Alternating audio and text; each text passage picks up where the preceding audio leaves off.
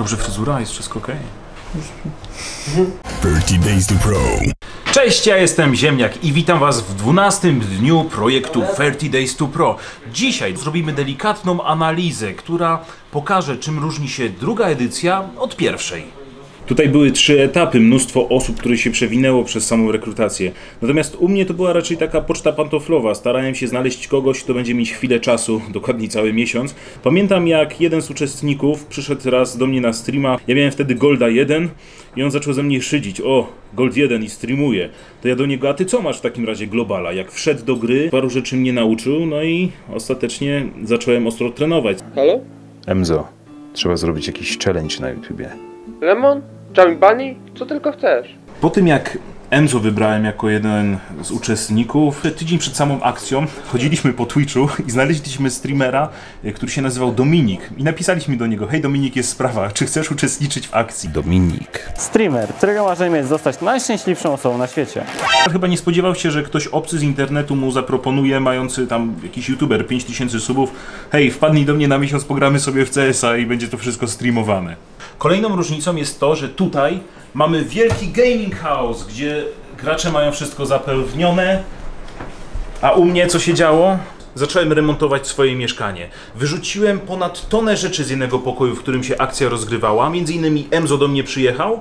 Rozwalaliśmy wszystkie szafki, wyrzucaliśmy. Oczywiście na początku było najwięcej pracy. Wydawać by się mogło, że jest to zwykła biblioteczka, ale patrzcie. To wtedy mogłem napisać komputronik, słuchajcie, jest gotowy pokój. W przeddzień akcji Mieliśmy takiego pecha, a może szczęście, że lato, podczas którego same wakacje, kiedy organizowałem tą akcję, to było najgorętsze lato od chyba 1850 roku. Tutaj podobnie też wszyscy się chłodzą wiatrakami. Ja pamiętam, jak mieliśmy porozkładane. Każdy miał mały wiatraczek, każdy wiał sobie w twarz. Przez cały miesiąc chyba z 2 kilo straciłem od samego siedzenia przy komputerze. I najważniejsza rzecz, oni wiedzą gdzie są, wiedzą co robią. Ja miałem mały jeden problem. U mnie na samym początku akcji dwójka gości pokłóciła się o dziewczynę. Jeżeli chodzi o zaplecze technologiczne, podczas pierwszej akcji 30 Days to Pro mieliśmy różne komputery z różnych eventów e-sportowych, które po prostu komputronik mógł nam udostępnić. Tutaj natomiast każdy ma taką samą jednostkę.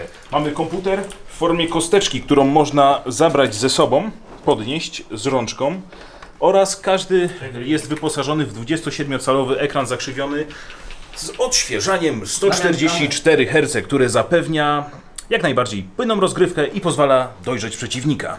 Tutaj Henry dzisiaj prowadził swojego streama z treningu indywidualnego. Warto też napomnieć o tym, że każdy z graczy jest wyposażony w kamerkę internetową i oni się zmieniają. Każdego dnia rano jeden z nich prowadzi trening, omawia z czym ma problem, jakie ma techniki jeszcze do dopracowania i dzięki temu może przekazać wiedzę Wam, oglądającym.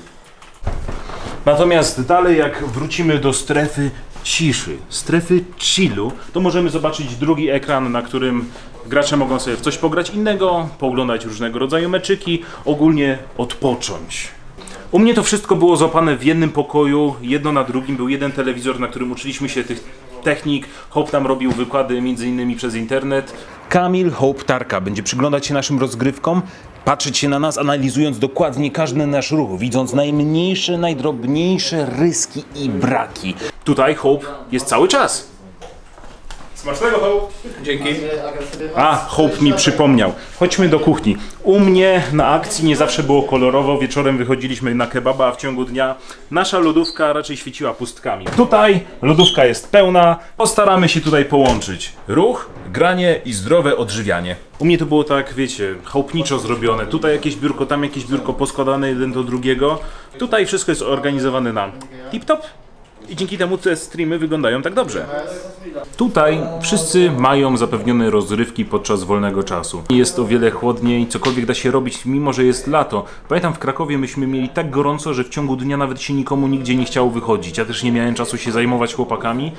A po skończonym dniu każdy leci do strefy, w której w tym momencie się znajdujemy.